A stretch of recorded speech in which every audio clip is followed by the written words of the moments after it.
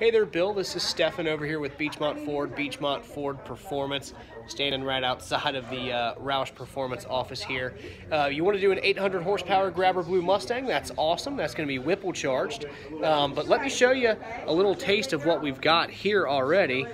Um, oh, you know what? I can't spin around the camera. But what I've got here right now is a custom car that we just got done doing. This is a uh, satin metallic gray vinyl wrap on a Mustang GT. We did custom wheels and tires. We painted the calipers. Added some other little accents. Just a really awesome, clean build. This is an example of the kind of stuff that we can pull off here.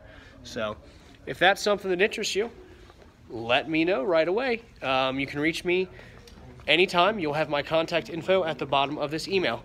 Thanks.